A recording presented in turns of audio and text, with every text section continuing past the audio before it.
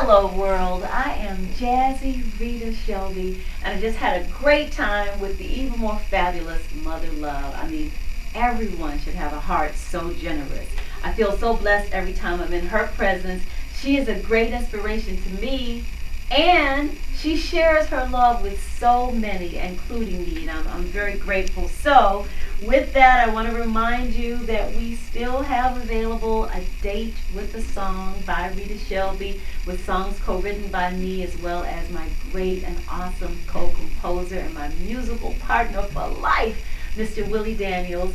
And we have a show. I don't know if the show, I don't know if the show will have been uh, done by the time you see this or not, but at any rate, the show is a jazzy stroll down history lane.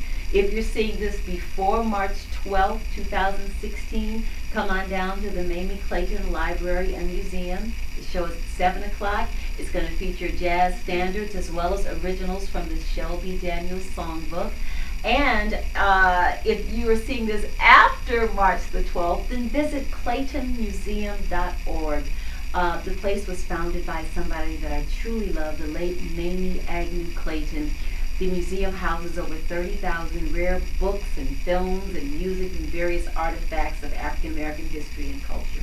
So there it is there, spreading love and spreading jazz and lots of good Thank you, Mother Love. We love you.